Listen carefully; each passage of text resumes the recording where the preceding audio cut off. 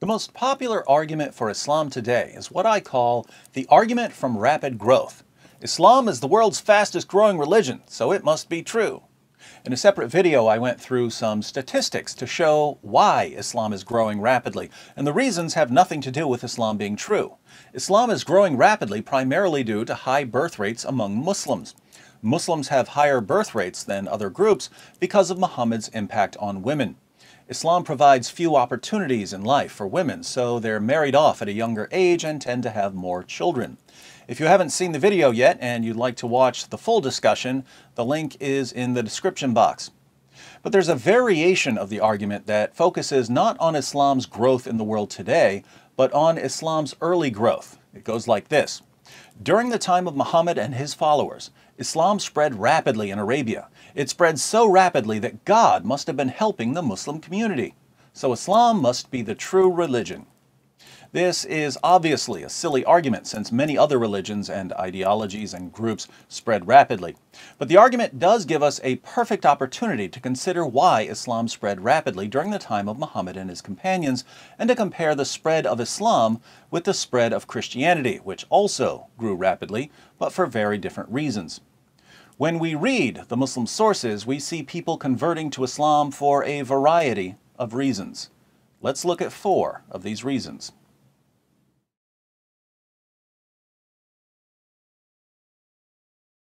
Historically, we know that some individuals were so impressed by Islam's ability to inspire men to kill without question that they converted to Islam. In Ibn Ishaq Sirat Rasulullah, page 369, we read, The apostle said, Kill any Jew that falls into your power. Thereupon Mu'ayisa bin Masud leapt upon Ibn Sunayna, a Jewish merchant, with whom they had social and business relations, and killed him. Huwayisa was not a Muslim at the time, though he was the elder brother. When Muwayisa killed him, Huwayisa began to beat him, saying, You enemy of God, did you kill him when much of the fat on your belly comes from his wealth? Muwayisa answered, Had the one who ordered me to kill him ordered me to kill you, I would have cut your head off. He said that this was the beginning of Huwayisa's acceptance of Islam. The other replied, by God, if Muhammad had ordered you to kill me, would you have killed me? He said, Yes, by God. Had he ordered me to cut off your head, I would have done so. He exclaimed, By God, a religion which can bring you to this is marvelous. And he became a Muslim. In this passage, Muhammad tells his followers to kill any Jew that falls into your power. A Muslim acting on Muhammad's orders kills a Jewish merchant the Muslim's brother doesn't understand how his brother could turn against a friend of the family so quickly. The Muslim's response is that if Muhammad commanded it, he would murder anyone, even his own family. And the brother is so impressed by this willingness to mindlessly kill for Muhammad, he converts to Islam. We find another example on page 676 where Muhammad has one of his followers murder a woman named Asma bint Marwan for writing a poem challenging people to stand up to Muhammad. Ibn Ishaq reports, the day after Bint Marwan was killed, the men of Bani Khatma became Muslims because they saw the power of Islam. Muhammad's followers stabbed a woman to death. What an amazing religion! This sounds odd to us, but in 7th century Arabia, becoming extremely passionate about something, to the point of being willing to kill for it, was evidence of its truth. After all, why would you be willing to kill for something unless you were absolutely certain that it was true? So people actually converted to Islam because they were impressed by its ability to turn people into killing machines.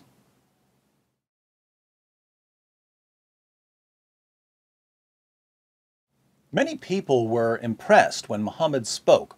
He preached as if he knew what he was talking about, and he confidently answered difficult questions that no one else could answer.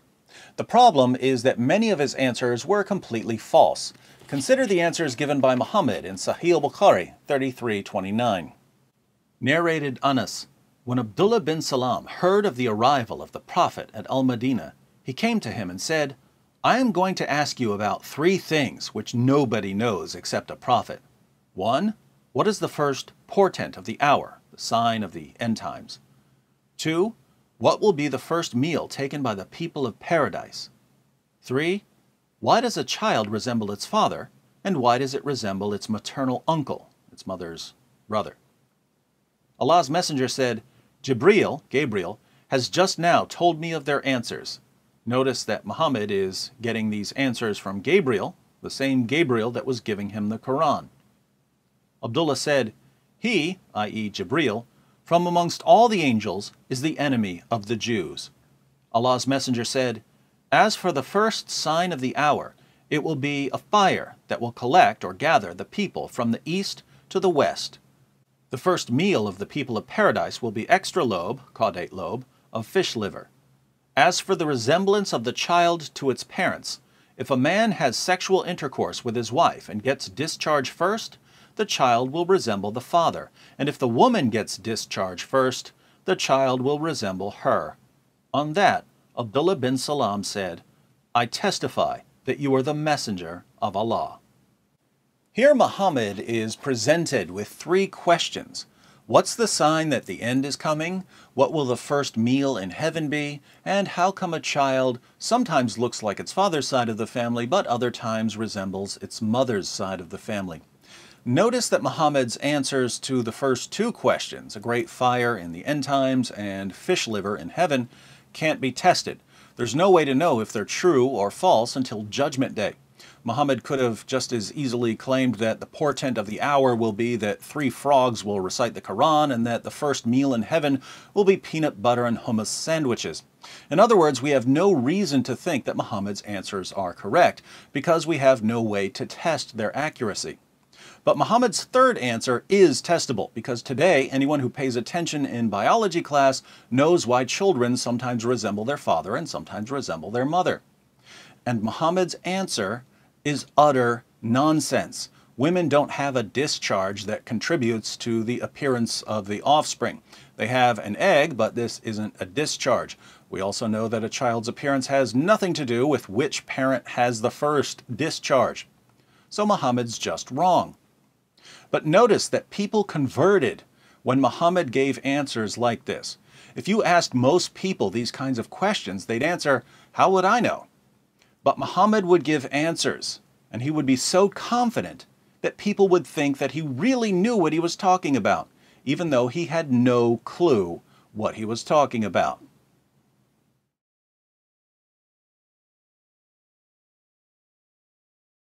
Muhammad made an enticing guarantee to those who waged jihad for him.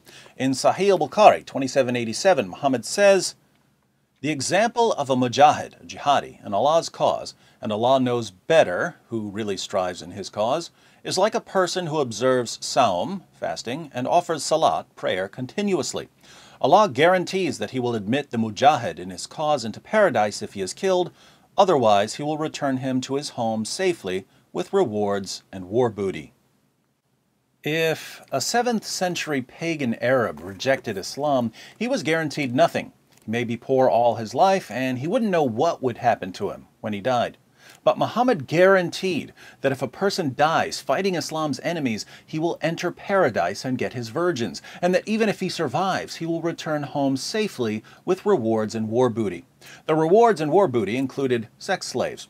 Either way, whether they lived or died, pagans had quite a bit to gain if they became Muslims. Muhammad's promise of rewards and war booty was an important factor in the early spread of Islam. In fact, using promises of money and sex slaves to win converts was part of Muhammad's strategy. For example, when Muhammad was accused of distributing the spoils of war unevenly, he replied, Are you disturbed in mind because of the good things of this life by which I win over a people that they may become Muslims while I entrust you to your Islam? In Sahih al-Bukhari 3344, Muhammad divides a piece of gold among four chiefs of a different tribe. We read, So the Quraysh and the Ansar became angry and said, He, i.e. the Prophet, gives to the chiefs of Najd and does not give to us. The Prophet said, I give to them so as to attract their hearts to Islam. So, for the early Muslims, the importance of money and captives as a motive for conversion can hardly be overstated. Many early converts embraced Islam not out of any desire to worship Allah, but out of a desire for treasure and sex slaves. And Muhammad encouraged such conversions.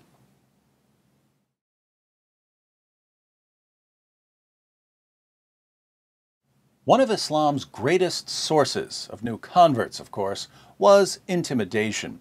History shows that people were directly threatened with death in the presence of Muhammad if they refused to become Muslims. We read in Ibn Ishaq, page 547, Muhammad said, Woe to you, Abu Sufyan! Isn't it time that you recognize that I am God's apostle? He answered, As to that, I still have some doubt. I said to him, submit, and testify that there is no God but Allah and that Muhammad is the apostle of God before you lose your head. So he did so. Abu Sufyan doubted the prophethood of Muhammad, yet he was told to convert before he lost his head. Fully aware of the countless people that had been murdered by Muhammad, Abu Sufyan submitted to Islam. But don't take my word on the importance of threats and intimidation in early Islam. Let's read Abu Bakr's summary of Muhammad's life and work. In the History of At-Tabari, Volume 10, page 55, Abu Bakr declares, Verily God, may he be exalted, sent Muhammad with his truth to his creation as a bearer of good tidings and as a warner and as one calling others to God, with his permission, and as a light-bringing lamp, so that he might warn all who live, and so that the saying against the unbelievers might be fulfilled. So God guided with the truth whoever responded to him, and the apostle of God, with his permission, struck whoever turned his back to him until he came to Islam willingly or grudgingly. Fear of death, it seems, played a crucial role in converting people to Islam. So we've looked at several reasons for the rapid spread of Islam. Muhammad's ability to inspire rage and violence, Muhammad's false revelations and people's ignorance, Muhammad's promises of captives and war booty, and violent intimidation. Is there anything miraculous here? If there is, I must be missing it. Let's compare the early spread of Islam with the early spread of Christianity. The first generation of Christians went out preaching that Jesus had died on the cross and rose from the dead. Jesus' death by crucifixion was a public event. There was no disputing that. And more than 500 Christians were claiming that they had seen him alive again after his death. So they proclaimed Jesus' resurrection. There was only one problem. Many Jewish leaders, and eventually the entire Roman Empire, wanted to silence them. Think about this. In one corner, there's a small group of Christians who had no political power and wouldn't return violence for violence. They wouldn't fight. In the other corner, there's the most powerful empire the world had ever seen. What chance did the Christians have? From a worldly point of view, none. Fortunately for Christians, there are more powerful forces at work in our world than empires. In the Old Testament, God ordained some important festivals for the Jews. Two of the most important festivals were the Passover festival and the Festival of Weeks, or Pentecost. Jews would travel to Jerusalem for their major festivals. As time went on, many nations conquered the Jews. Some of these nations would take Jews to different parts of their empire. But because of the Jewish laws, Jews generally wouldn't intermingle with people from other nations, so they were able to retain their identity as Jews. Eventually, there were groups of Jews around the Middle East, across northern Africa, and in Europe. Many of these Jews would return to Jerusalem for the major feasts if they were able. Jesus was crucified when the Jews had gathered in Jerusalem for the Passover festival.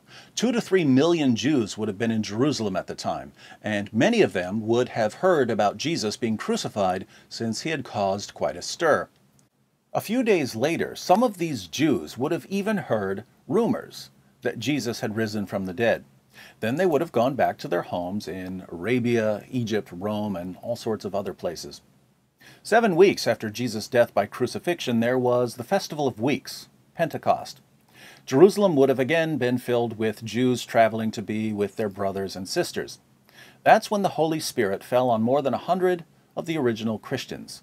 Suddenly, they were able to speak in the languages of Jews from three different continents.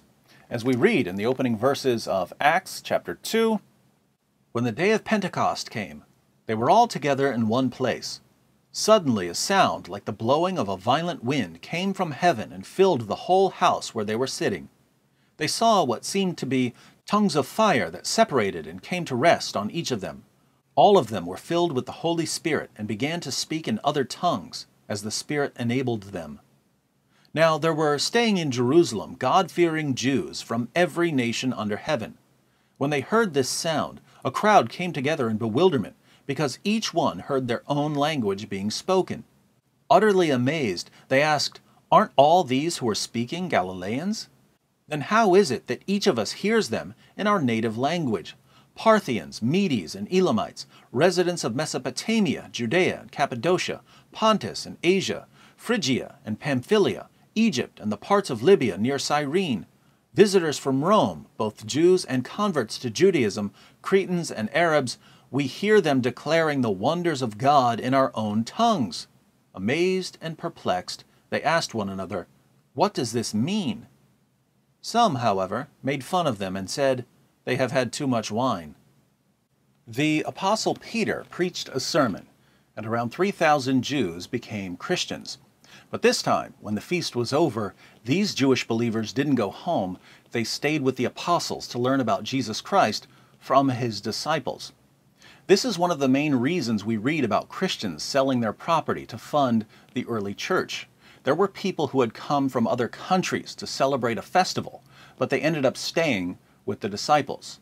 So Christians who had property would sell it to support this international Christian community living in Jerusalem. Eventually, after the stoning of a Christian named Stephen, a massive persecution broke out against the Christians living in Jerusalem, which included Christians from three different continents. It was then that these people who had come from all over the Roman Empire and from other places left Jerusalem and went back to their homes, fully equipped to spread the gospel of Jesus Christ. By that time, it was too late for the Romans or anyone else to stop Christianity. There were already thousands of Christians spread across three continents preaching the gospel in their native language, and many of these Christians had learned about Jesus from his original followers. So, why did Christianity expand so rapidly? Christianity spread because it was grounded in a miracle that people could examine and verify, and that instantly set it apart from other religions. But this is only part of the story, because the expansion was hastened due to an amazing series of events. Jewish festivals, the victories of various nations over the Jews, Old Testament laws that kept the Jews from intermingling with other groups, Jesus' death and resurrection when Jews were gathered for Passover, the outpouring of God's Holy Spirit when Jews were gathered for Pentecost, and the persecution of Christians, sending them back to their own countries, all worked together for the spread of the gospel. So Christianity spread because of miracles amplified by a miraculous series of events. It spread so far, so fast, that it conquered the most powerful empire the world had ever seen without killing anyone. Islam, by contrast, spread because of lust, greed, fear, violence, and ignorance. You tell me which one came from God.